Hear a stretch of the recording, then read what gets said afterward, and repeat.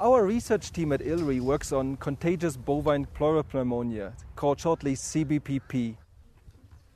CBBP is caused by a bacterium called Mycoplasma mycoides subspecies mycoides. The disease is characterized by an acute pneumonia. It may progress into a lethal acute form or into a chronic form. Anyway, the animal's suffering, they can't really breathe, and they can't gain weight, and they have pain. The disease causes decreased productivity and direct loss of cattle because they are dying.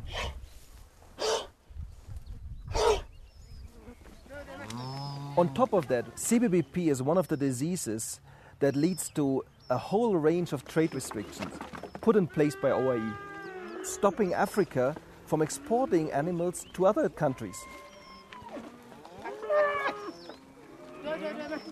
CBPP is a pleural pneumonia, and that's what we have seen actually in the pathology. We have seen lots of pleural fluid, which is actually the result of the inflammation of the pleura.